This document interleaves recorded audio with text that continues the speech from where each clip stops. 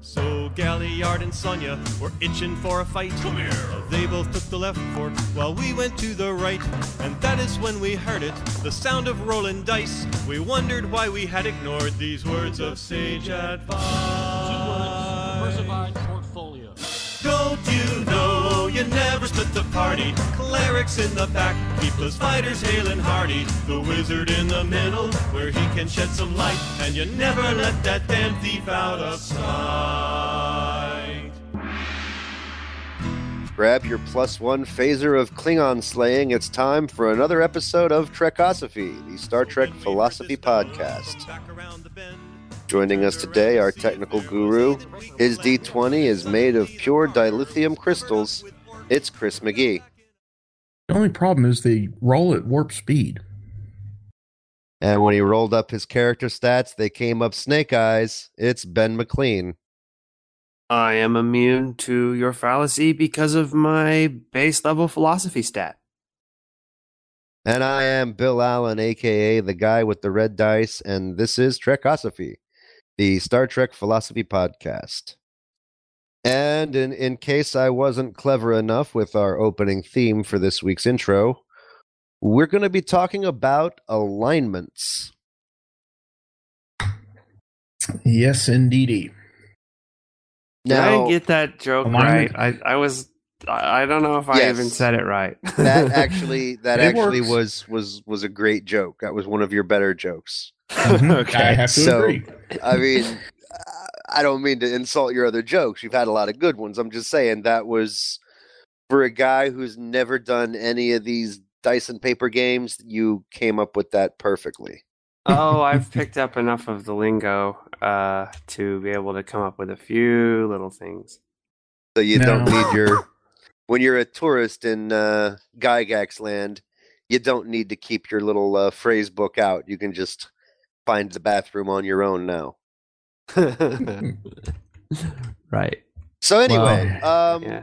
uh, this Now this we're in- podcast is all about the philosophy of Star Trek, and, and a big element of philosophy is the whole question of uh, right and wrong, good and evil, morality, etc., etc., etc.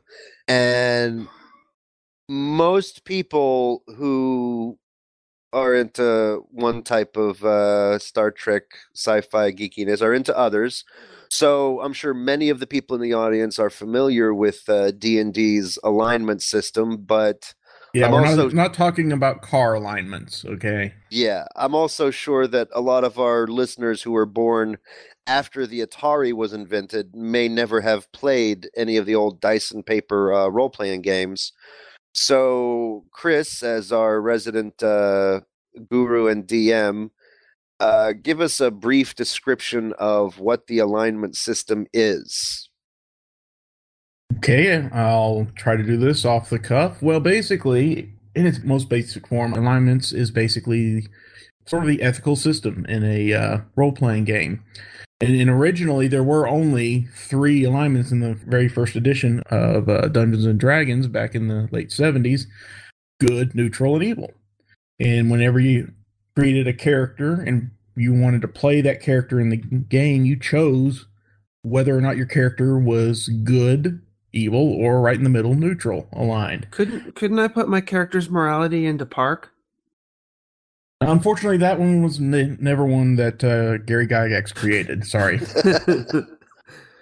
But um, then later, with the invention of uh, or the creation of advanced Dungeons and Dragons, uh, that oversimplified uh, good, neutral, and evil alignment system was taken a step further and created another axis rather than just having good, neutral, and evil. There was also a lawful, neutral, or chaotic axis added onto it. So you could combine all three of those together based upon not only were you was your character doing deeds that were good for others and yourself or evil for others and yourself but also whether whether or not you followed a law a system of laws whether or not it was your own you know laws or or um, those of society or if you were chaotic and just did everything on a whim without any bearing on whether or not it followed any particular laws, or you did something in the middle, neutral. So combining the three, and I'm sure anyone could uh, out there in our audience could uh, Google alignments or D and D alignments and find them. So the grid goes basically as follows: lawful good, neutral good, chaotic good, then lawful neutral, true neutral right in the middle, dead center, and then chaotic neutral. And then on the evil axis, lawful evil, neutral evil, and chaotic evil. And so, any character you created for your role playing game uh, could be any one of those nine possible alignments. Now I don't remember if it was uh, with AD&D or if it was second edition, but uh, I think at some point didn't when it originally came out. If you were lawful good, you were lawful good, and if you tried to do something that was not lawful good, your DM would say, "Yeah, your character can't do that." But I never it, actually played, yeah, those originals. I, I don't know if they were that strict about it back then, but yeah, that's essentially, and that still carries over today. In in some of the systems, though, hasn't it been where your alignment shifts over time, depending on the actions where you take? You know that whole uh, right. If you continue to do something evil over and over, even though your character is lawful good written on their character sheet, then uh, yeah, your GM might say, all right, uh, you need to change your alignment, and here's maybe some other penalties that'll happen to your character because of this, because you didn't play their character the way you created her. Right. Kind of the, uh, to reference a, a older episode that we've already done, the uh, moral event horizon.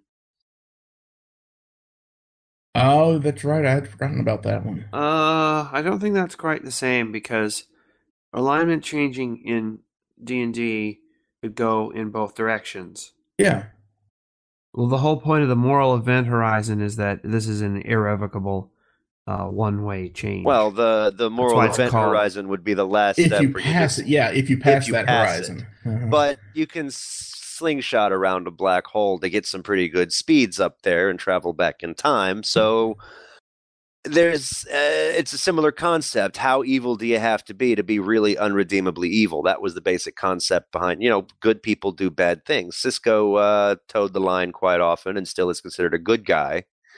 Dukat occasionally did good things but he didn't do enough to get away from that event horizon.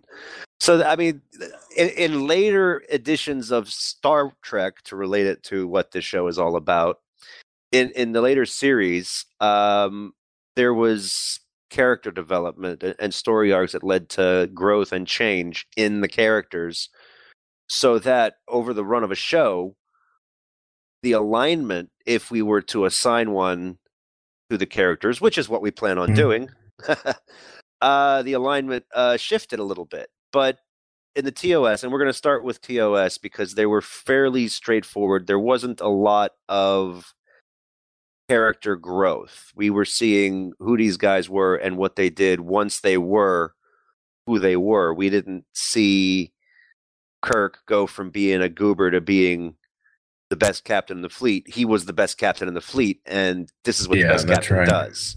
It was a very episodic series. Nothing serial about it, really.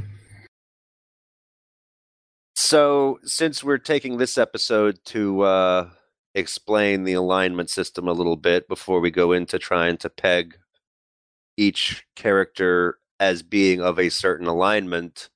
Um, we'll do TOS this time around because their alignments are fairly set in stone. We don't have to get too convoluted and in depth into who is what. Well, I'm sure we will. He was lawful good, but towards the end of the series, he kind of changed into something else. Yeah, well, uh, Odo is a good example of that. He starts out, he's uh, lawful neutral. He just as easily uh, work as the the chief That's constable true. for the Cardassians as he would for the Federation. But by the end of the episode, there was character growth, and he was somewhere between lawful good and neutral good because he learned to bend the rules a little bit, but he also learned to fight for causes that were morally right and not just obey the law. So I mean, it's there's change and growth in the later ones, but we'll get to them. Let's start with uh, the original series and kind of dive right on in this. Now, Now, here's a quick question that we probably ought, ought to address right off the bat.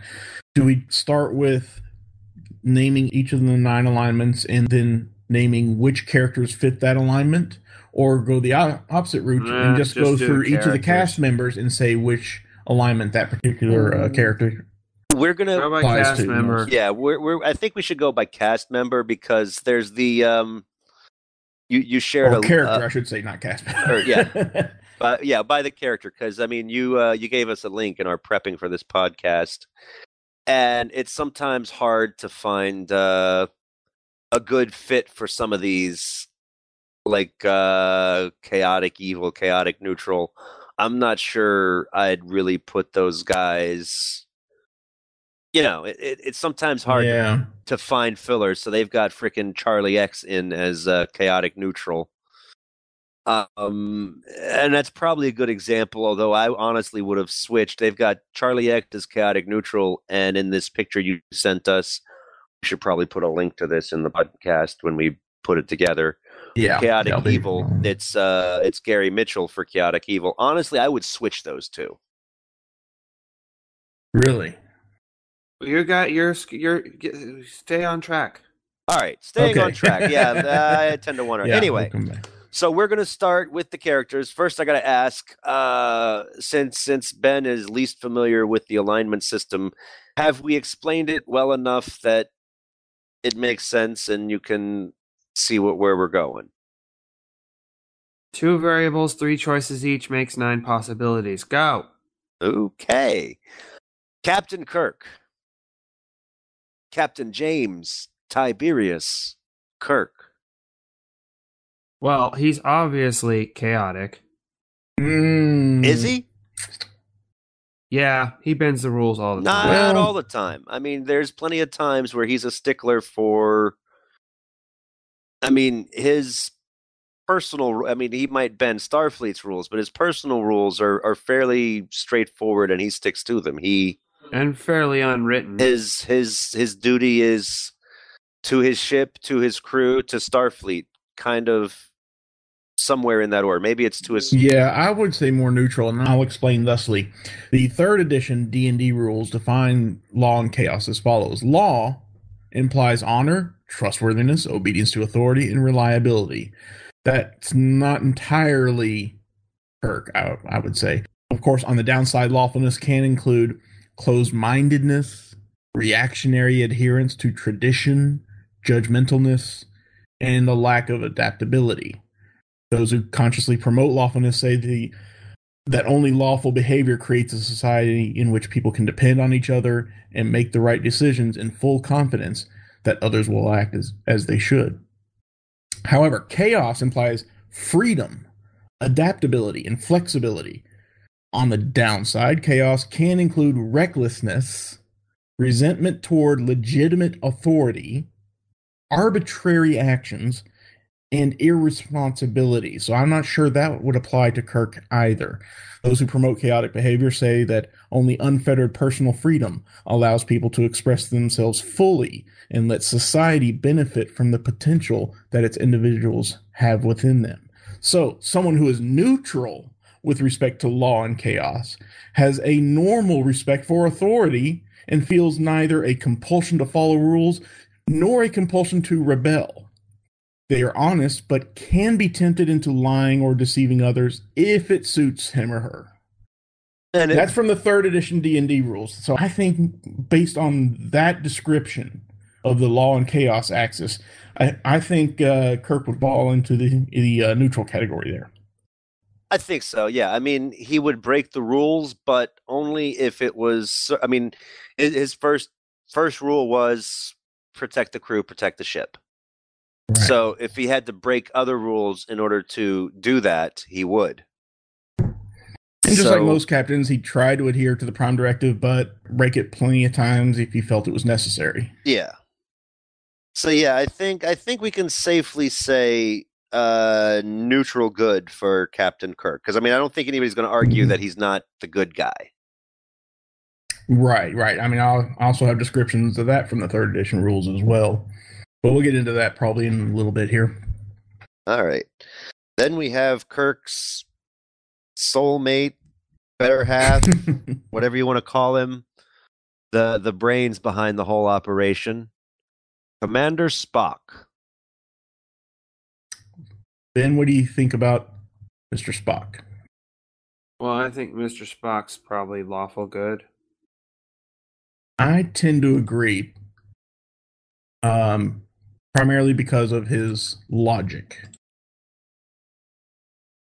Um, What do you think there, ben, uh, Bill?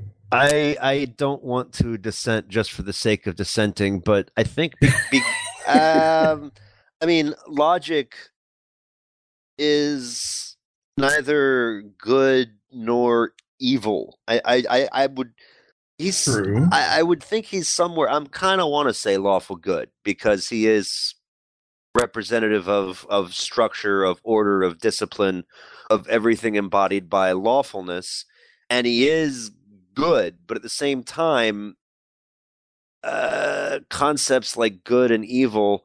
I mean, Vulcans are pretty utilitarian in their philosophy. They they will Oh yes. he will do the math. If he flips a switch and it's going to kill 10 crewmen, but it's going to save 100, he will kill those 10 crewmen without hesitation or remorse.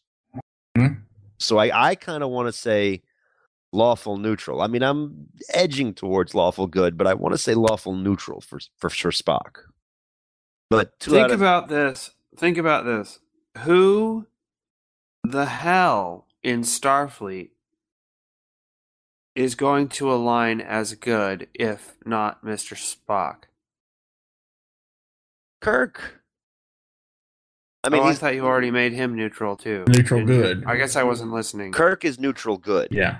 Oh, oh, sorry. Spock, you guys are saying lawful good for Spock because there's the good axis, evil axis. Pretty much everybody in Starfleet we can generally say is going to be good. I don't think there's any bad people on there. There might be a couple of neutrals, but I don't think Starfleet's going to have any uh Evil. neutral. You know, some of the admirals doing their shady deals might be considered neutral because And- they're they're And wait till we get into section thirty-one too. Yeah. Um, and I don't think anybody in Starfleet would qualify as evil. I'd even hesitate to put Klingons and Romulans on the evil side of things, maybe, but we'll, we'll get to them. I think, I mean, I kind of want to say Spock is lawful good, but part of me thinks he would be lawful neutral. But with two out of three people saying lawful good, I think we're going to have to go with that as our final answer. That's a tough one, really. Though I, I do, It- I do like your explanation for Mister Spock being lawful neutral, though. Dr. McCoy, Leonard H. Um, I personally would say he's definitely good. At least I can't imagine him being neutral on that good, good evil axis. Yeah. Um, Ben, what's your thoughts? on Spock. Oh, sorry, on McCoy. Yeah. On McCoy. I'm sorry. Uh, McCoy, I'd say he's chaotic good. Okay, why do you think that? Well, Mr. Spock is always saying there's this rule we have to follow, and McCoy's always saying, nah, we don't have to follow that rule. Because we have to do what we feel like doing because emotions and stuff. Uh, yeah, I think um part of me want I mean this is another one where I'd say, you know, he sh- he that McCoy should be neutral good, but I, I'm going to agree with uh I'm going to agree with Ben um chaotic good. If Spock uh if Spock represents lawful, uh McCoy represents he, he's the yin to that yang yeah, in, in this whole convoluted relationship of theirs. So if, if Spock represents lawful, McCoy represents chaotic. And it's definitely not neutral in McCoy's, with him being a doctor and the Hippocratic Oath and the first do no harm and saving lives. It's definitely uh good. Definitely chaotic. Definitely good and probably chaotic, although part of me thinks he might be chaotic just to spite Spock. That if Spock wasn't there, he'd be neutral good. hmm. Thought. well, I think they're all I, I I'd count them all uh, all three of you know, it's almost not worth talking about the uh align the the good evil alignment for the Star Trek people because they're all the good guys. Well, yeah, for the fleet, we can safely assume. All- all- right. All right. Um, then we'll go real quick. Lawful, neutral, chaotic. Um, Mr. Scott. Oh, uh, he's definitely not lawful Right. because he's always. Is he a neutral or chaotic uh, for him? I'd say he's neutral because he's always, uh, you know, uh, what do you call Changing the uh, laws of physics. He's always making up his own engineering That, standards. that because- sounds like chaotic to me. Yeah. Yeah, but on the other hand, uh, you know, he's always following orders Yeah. from the captain. So The, the the things where he he he makes up his own rules. I don't think necessarily that makes him um chaotic or neutral because it's not like he he's not defying any rules. There are no rules. When when people he's Except the when guy he breaks who the wrote laws the of book physics. on Those Well- laws are out the window. Uh, yeah, I mean, but at the same time, it also goes to show that maybe they didn't know the laws of physics quite as well as they thought they did, so they didn't understand the law. okay, okay. It's like if there was ever anybody to embody that little phrase, he wrote the book on such and such.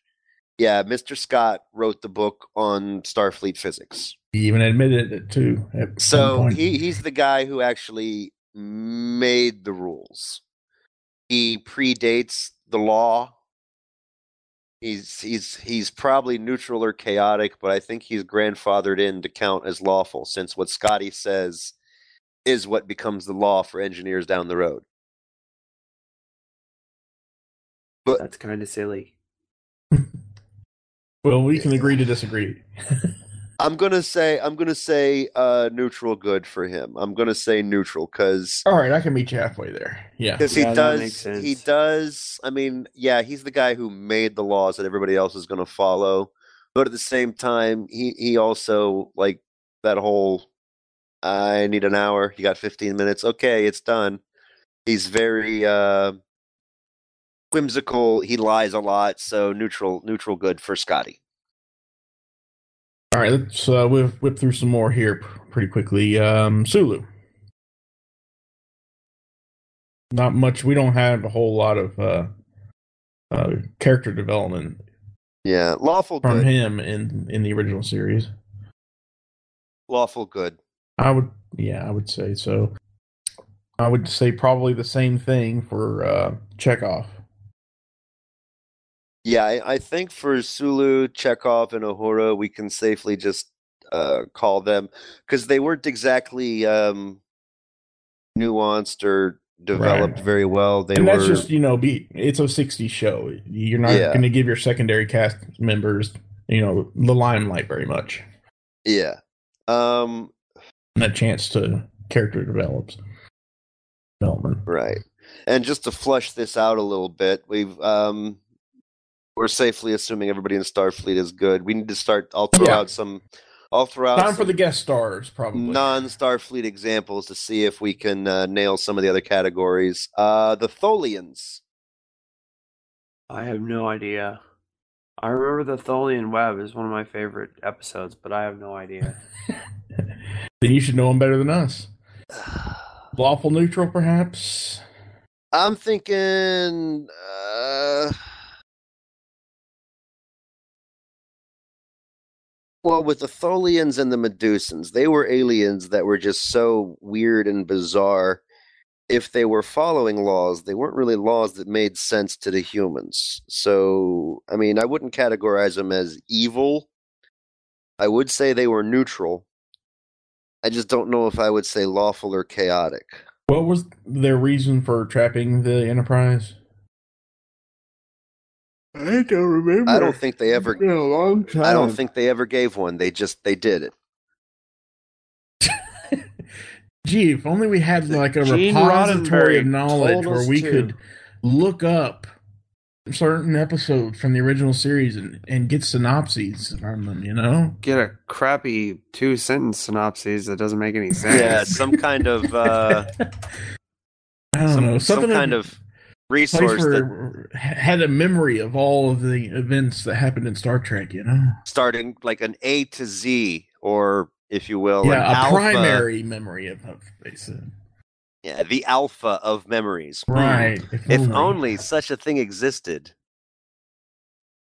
It doesn't say why the Tholians did it. Well, wait, let me see if I can find Tholian Assembly. There we go. Uh, they're trespassing on the territory of the Tholian Assembly, and they must leave immediately. So they're very territorial. That doesn't really tell us if they're lawful or chaotic, I guess. But they didn't leave because they were trying to retrieve Kirk Yeah. from the Defiant. yeah. No, not that Defiant. All right. Um, We've pretty much, I think we've just about done the uh, original are you kidding? Uh, Klingons. Yeah, I was gonna say we got Klingons, Romulans, we got Khan, we got so many. Klingons are chaotic neutral. Definitely chaotic, even though they do sort of have their system of laws. Back in the original series, that was out the window pretty much. They I would, I would say all. chaotic evil, but I don't want to argue with Bill over nobody really being evil. So I'll go with chaotic neutral. no, no, no, no, no, no. We were talking about Starfleet members not being. yeah, nobody in uh, Starfleet's really evil. right. I mean, yeah, but you already said you didn't want to make the Klingons out to be evil. I mean, so you could make whatever. Well, a no, case for it that they in the scope of the original series. That's what we're looking at here, not They- the they- later series. They were the bad guys. I mean, Right. They were opposed to the Federation. I would probably say the Klingons were more evil than the Romulans, but that's just me. Um, Definitely more chaotic than the Romulans. There's no question about that. Yeah, I, I, I'd, I'd say either neutral evil or chaotic neutral. Not quite up to the par of being chaotic evil.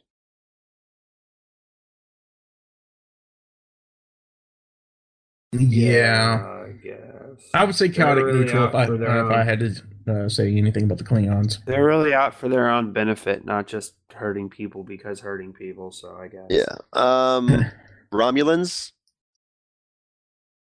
I think they're lawful Roman. lawful neutral, I'd say. I could agree with that. What's that? no- Uh, Romulan, Romulans lawful neutral? Lawful neutral or true neutral. I mean, Hmm. they're very Beware Romulans bearing they're gifts. Very inscrutable. We've only saw there was only like what four or five episodes featuring the Romulans. At most. Yeah. Um true neutral, lawful neutral, somewhere in there. Okay. Okay. Fair Um, enough. Khan. I I am tempted to say chaotic evil. Um. Uh, I think he's neutral evil. because after all, he is the one that, that said that we offered the world order. Yeah. Um that's why well him offering the world order is why I would say lawful evil. It's just his laws. Yeah, I was going to say, who can say what his laws are like, what his order is? His laws seem pretty arbitrary to me, so I would, I would, I'd say uh, neutral evil. Okay, okay. Uh who else can we toss out there? Um Organians? Mudd, mud. Mudd. Um, Harcourt, Finnegan, Finnegan or Phineas? I think he's chaotic weenie. I mean, chaotic neutral. Okay, and I, I definitely want to use the alignment system that Ben has invented with uh, the weird combinations. I would totally roll a chaotic weenie character. No, I'd be a Roman. I'd be a, a, a lawful Roman chaotic weenie. Harcourt Fenton Mudd, by the way. Fenton. Okay, it's Fenton. Okay, Harcourt, Fenton, Mudd, Harry Mudd, true neutral. I mean, he's not a nice guy. He's in it for the profit, and he'll lie, cheat, and steal. But he's not totally chaotic because you know he's if he makes a deal, he holds up his end of the bargain. ish, but he'll also sell a starship that doesn't belong to him. Um, Yeah. yeah, true neutral. I tend to agree with that. Yeah. Uh, Lives by his own. Trelane, Trelane. Oh, chaotic. Just screams at me chaotic. definitely chaotic. He's one of those godlike beings the rules don't apply to. Probably chaotic neutral. I think though. he's chaotic evil. You- you- evil, really? You you you'd list Trelane as evil? Well, he's trying to just play with people's lives like they're toys. And it's kind of malicious that way. Uh, okay. Chaotic evil, according to D and D, is uh, a character that tends to have no respect for rules, other people's lives, or anything but its own desires, which are typically selfish and cruel. Um, Okay. Now, I don't know if Trelane's desires are cruel exactly, but they're definitely selfish. Yeah, I can I can I can see I can yeah, yeah I'm I'm I'm waffling between uh And chaotic neutral says is an individualist who follows his or her own heart and generally shirks rules and traditions. Um, it's their own freedom that comes first. Good and evil comes second to their need to be free. Free spirited, do not enjoy unnecessary suffering of others, though. Like Catwoman. Yeah, because I don't think he. Hmm. Uh, that's a tough choice. I would probably say chaotic neutral though if I had a choice. tribbles. Twibbles are Full neutral. Twibbles are chaotic, uh, chaotic good. And uh, yes, I agree. If only because they're cute and fluffy, that's what makes them good. But yes. Oh, they're so fluffy. Plus, they have an innate dislike, an instinctive dislike of Klingons. So there's something that worked there. Yes. Well, maybe they're lawful good, and they're just their law is no Klingons allowed. I still think chaotic good because that whole eating everything in sight and just uh Maybe Uh, maybe they're lawful evil, and they're in a secret plot to take over the universe. Only no one knows. Organians. They're Ooh, lawful um, good. I was gonna say probably lawful good good for the Uh oh, you guys have gone quiet on me. We're just very quiet people. Yeah. Um Oh, I, I'd I hit the volume knob on my headset. Okay. That's it. I'd actually say lawful neutral. They don't take sides in the You're right. Klingon Yeah, you're right. Federation conflict. Um. They- yeah. Okay. I was They thinking of they're probably- preventing the bloody war for the whole other series is after their episode. But that's that's that's just their lawfulness kicking in. They've got this whole no war policy, but they also uh, equate the Federation to the Klingons. We're, they're- we're the same in their eyes. So, you know, Yeah. Lawful neutral. And not in a good Captain Kirk way. Which is interesting because, I mean, here you have lawful neutral Organians, lawful neutral Captain Kirk. What? Captain Or, Kirk no, wasn't neutral lawful. good. Neutral good. That's right. Never mind. I'm getting I'm getting my X and Y's confused. Let's see, who else do we have? Uh, Apollo, Wow. Okay, digging deep there. Um. lawful evil. I guess. I, I don't remember his episode well enough. Lawful evil character sees a well-ordered system as being easier to exploit and shows a combination of desirable and undesirable traits. While it usually obeys its superiors and keeps its word, it cares nothing for the rights and freedoms of other individuals and is not averse to twisting rules in its favor. I thought lawful evil was like a legalistic uh person like Inspector Examples of this alignment include tyrants, devils, undiscriminating mercenary types who have a strict code of conduct, and loyal soldiers who enjoy the act of killing. Right, and right, right, they right. uh they cite examples as Boba Fett from Star Wars and X Men's Magneto as being lawful evil characters. I was thinking Inspector Javert from Le, from Les Mis. As my archetypal lawful evil guy. I could see that working. I don't know. There's just something about. I mean, uh, there's a whole pantheon and structure, uh, gods and worshippers, but with Apollo being the god, uh, worshippers were there just to be food or a power source or whatever. He didn't really have good thoughts towards the people under him. They were just food, Okay. which strikes me as being Were they food? I don't remember Not- that. not physically. He didn't pick them up and chomp on them, but he fed off of their psychic worship energy or whatever it was. Oh, that is was that the what it source of his power. Yeah, Okay. Yeah, I think Um, you're right. Uh, that's why I would go that way. right. Okay. So, how about the Orion slave girls?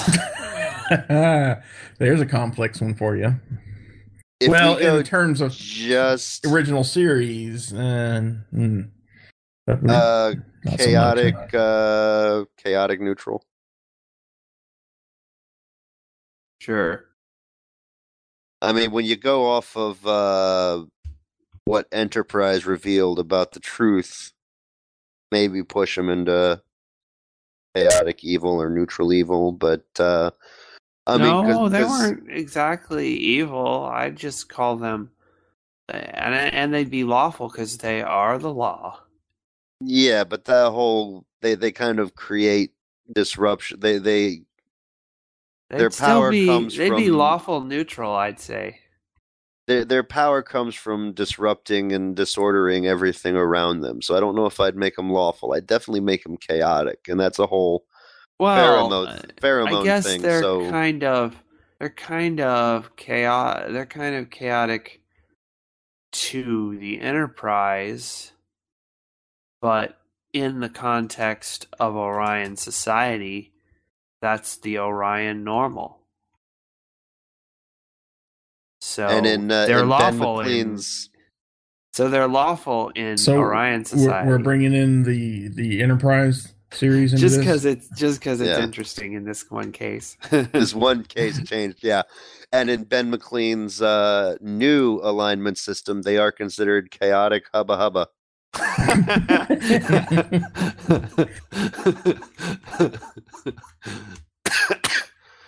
okay. Oh, you're Brandon making my Kirby. cough worse. Brandon Kirby, that one's for you. I know you're out there in the audience somewhere. He's one of our four listeners. Yeah, I wish he'd come. wow, back we've to the doubled our show. listeners. I think Yeah. I made him mad. Um, well, no, basically he uh he wrote a book and got published and uh Now he's He's- All of a now sudden- he's the big too times cool now. for Yeah. school. he's too cool to hang out with us little people, you know. He's he's hobnobbing it with the elites of uh philosophical literature. Yeah, well, Um, but we're his guilty pleasure. He's out there hoisting one and drinking and listening to this. So, uh, yes, yes, chaotic hubba hubba. That's for you, Brandon. right. That's for you, K Dog. All right. Um, Gary Mitchell. Oh man, it's been chaotic so long since I watched this stuff. Just say Yeah, chaotic I neutral, no matter who a hard else we name, because we're just starting to run out of All the guests stars No. are chaotic neutral. Well, I mean, was Uh. there ever? I mean, for have we picked anybody who was really chaotic evil? I was. I know I was leaning towards a couple that way. yeah, I was leaning Trelane. That way, but um, Uh, yeah, Khan lawful evil, well, let, definitely. let's let's look at chaotic evil here and, and see what uh, Watsy's description description is. Um, oh, I already described a little bit, but a little bit more about this is um, they do enjoy the suffering of others and view honor and self discipline as a weakness or weaknesses. Um, such as like serial killers and monsters of limited intelligence. And the Um, Joker. Yeah, they they also mention some examples as Carl Denham from King Kong, um, and Riddick from Pitch Black, or Chaotic Evil. uh, I have not seen either of those, sadly. Yeah, Neither yeah, have I. well, Pitch Black is sort of his redemption story. He did start out chaotic evil and kind of went to uh, somewhere between chaotic neutral and chaotic good. He is a crazy psycho killer dude, but it's a crazy psycho universe, and he did save all those people from the night. Terror flying hammerhead shark alien things. Okay. Um, no, Pitch Black is an interesting little movie. You'd get a kick out of it. Um, okay. It's on my list of things to see. yeah, chaotic evil in Star Trek. Original series. Who would I peg for that? There aren't really, other than Khan, there aren't really all that many really exciting villains. And the only reason we really remember Khan as a really exciting villain is because of the Wrath of Khan movie. Yeah, his his Probably, original yeah. story was was kind of thin, kind of weak. Yeah, it wasn't one of the top ten episodes There's until nobody after. like, there's nobody like Gul Dukat. I was going to say Takaki Yeah. is off the table here, unfortunately. Yeah. Um, Yeah, I mean, there's no super villain like that in in the original series. The most they have is a is a, is a that guy who's Kirk's Klingon rival. I think General Kang is his name, isn't it? he was one of them. yeah, there was uh, Kor as well, I think. Right. Um, And uh, those guys, they they were the villains, but they weren't ever. They always had some semblance of, uh, you know, And Koloth. Yeah. personal decency on some level. Garth of Izar, Who? The guy with Now the you're reaching freaky sh- obscure characters. No, he's not. Well, he's less obscure to me because of the whole Axanar fan film that's in the work. But um, shapeshifting, uh, he was a former Star Trek, Starfleet tactical genius, big hero of the war. Um, got mangled on some planet after the war. The aliens there uh, used their alien powers to heal him and give him superpowers and make him their leader and he kind of wanted to go from being leader to being god and conquer the universe and he had that weird shape-shifting ability uh got locked into a starfleet hospital for the criminally insane tried to impersonate You're kirk definitely reaching. You guys don't remember that one the whole impers- he impersonated Kirk. There's a, a there's two Kirks. One of them's the imposter. One of them's the real deal. And Spock's looking at him, and the real Kirk. This is like the first time they ever did that whole. You'll have to shoot both of us. It's the only way to be sure. And Spock knew the guy who said shoot both of us was the real Captain Kirk. It's like the first time that particular cliche had ever been done on TV. So it wasn't a cliche when they did it. him. Wouldn't it be crazy if the one who died in Star Trek Yeah, Trek he probably is. uh, Generations actually turned out to be the clone all along? Sometimes you gotta wonder. Um, well, what about the uh, salt vampire woman thing? um, you mean the uh, uh, the the no kill eye? Uh, no, no, Horta? no, No, no, no, That no, was no. a Horta. And the Not the Horta, Horta. See that that that's one thing that Star Trek did uh, a, lot of.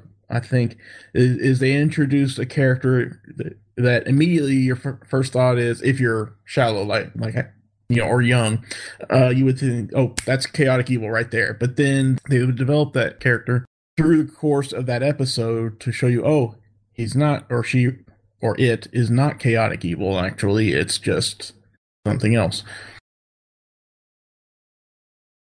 Sorry. Yeah. Yeah, no, that I think that was one of the underlying lessons regarding the whole peace and tolerance thing that Star Trek was trying to teach us was that there there there, there isn't really any evil. There's just you know, you Mhm. got to understand the enemy's There's shades of gray. perspective. Shades of gray. Roddenberry's idea, Yeah. and uh, that's why Deep Space Nine remains my favorite series. Sounds like someone's tired. Well, I I am in my final weeks of uh, Yeah. two college degrees.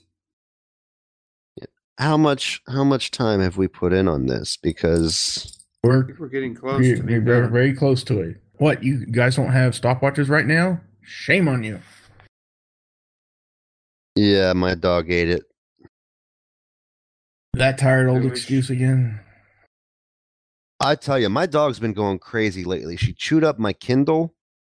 She chewed up I mean, she didn't damage the Kindle itself, but the nifty little flip open cover, the nice little leather thing that you know protects the Kindle, gone, ripped to shreds. She chewed up a uh, empty photo album, one of those little tiny three by five mini flip top photo. Yeah, chewed that up all to hell and back. She's gotten in this phase where all of a sudden she's just chewing things left and right, and it driving me crazy. Every time you come home, something else has been wrecked. She's in that rebellious teenage phase of being a dog.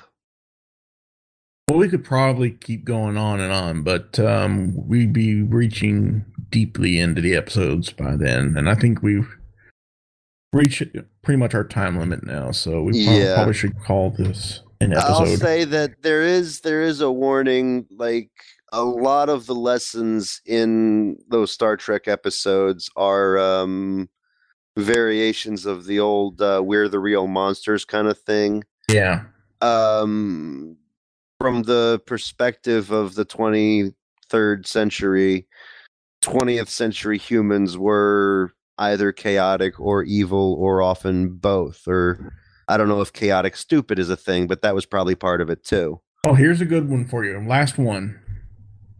Gorn. Oh, there's a there's a lawful evil.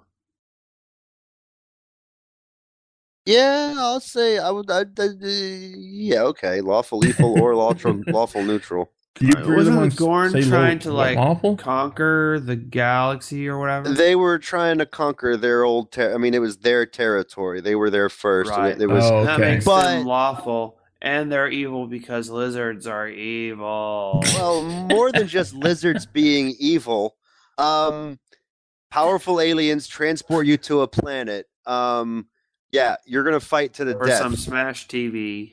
you're gonna fight to the gladiator. yeah it's basically these aliens say here you are fight to the death so the human captain is all like wait let's reason this out let's let let's let's not jump right to it uh Let us fight with our brains, not with our fists. Yeah, he's like, let's see if there's a way to avoid fighting. If there's no way to avoid fighting, yeah, I'm gonna make a, a Gilligan bamboo cannon and I'm gonna kill you. But he doesn't jump right into doing that. Um, y- The lizard's like, raw. yeah, it's like you, you beam him to the strange planet and it's like kill the other guy. He whips out his boomerang of death. I mean, Rawr. so yeah, lawful evil. Okay. That's a Well- good call. That's a good call. Not for I'm not some kind of speciesist against lizards. Some lizards are your friends. Okay. I, I think the Star Trek writers were because have they ever had a nice lizard on Star Trek? Aren't lizard types always bad? Have we seen other lizard types? Garak. Oh, you're going to bring in. Cardassians I- Yes. Mm, They are. They're reptiles. They're they're I- reptilian well, I would say the based. reptiles. but I would, wouldn't call them lizards. But we're getting way off topic here. We need to wrap this okay, up. that makes sense. All right, all right, but yeah, Gorn, lawful evil. There- These like no problems whipping out that bladed boomerang of death and just gonna kill the human. I got to watch that again. It's been too long. Yeah, All right. uh, but there was uh, there, there's a there's a there's an underlying lesson that says that i- inside every lawful good person is a chaotic evil person that wants to set things on fire. That was, I think, one of the the the the, the themes behind the original series to remind us that uh, the reason why the enlightened Federation had a law that was just as fundamentally uh, stupid as the Prime Directive was because they knew, no matter how lawful good the Federation was, they knew that deep down they sucked. And there was that potential for evil that would be exploited if they didn't keep themselves in check. Right. So People. Yeah. Uh. Peoples is peoples. Indeed. All right. Well, I think we've harped on enough about the alignments in the original series. So uh, you might say we uh, we tried to come up with a way to extend this episode, but we failed our saving throw. yes, Yeah, sounds good enough. yeah. I need better uh, gaming type metaphors and puns. Anywho, Yeah. You you you uh you rolled low. Ben, let him do the outro. Actually, let let's let Ben do the outro. I I, I Oh, know okay. that we kind of Uh, did let railroad Sleepyhead him. do it. Yeah, we kind of. Oh, that's gonna be great. Like us on Facebook. No, I'm okay. I can do it. Because we did Oh, kind sorry. of railroad him into doing an episode that left him out, having not been uh, grown up with the alignment system. So Okay. yeah, Well, you have been listening to Trekosophy, the Star Trek Philosophy Podcast.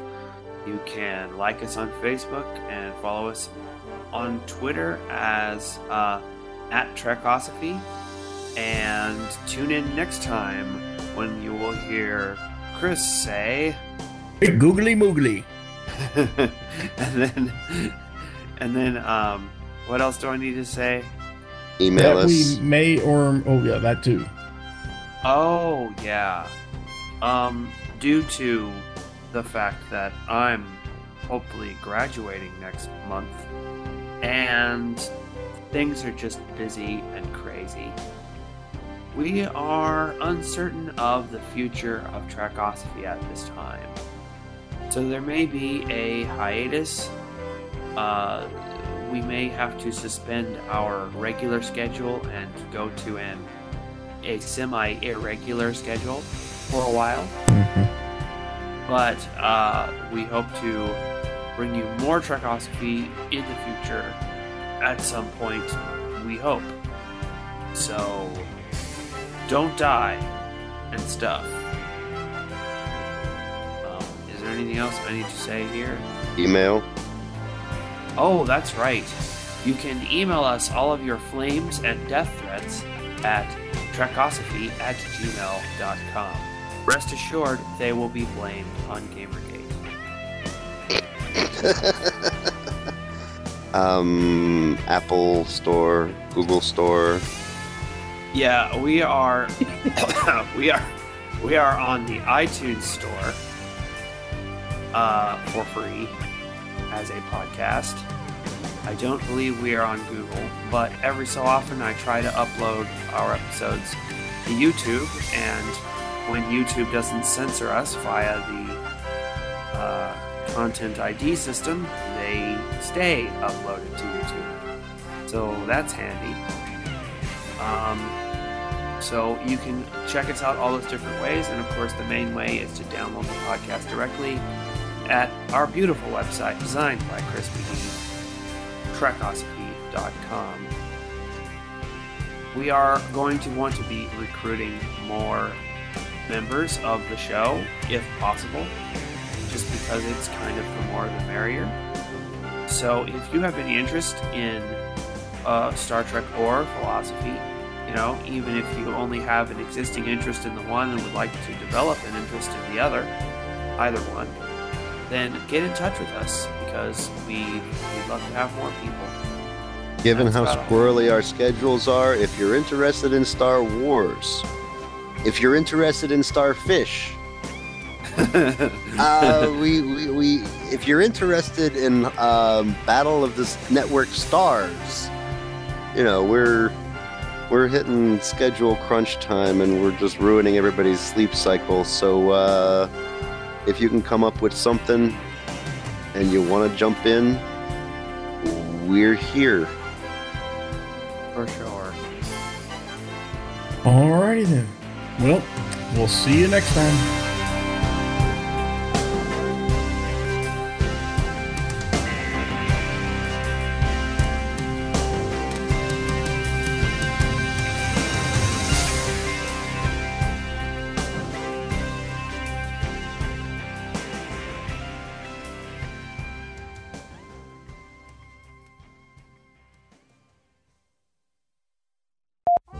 Roll the dice to tell me if I'm getting drunk.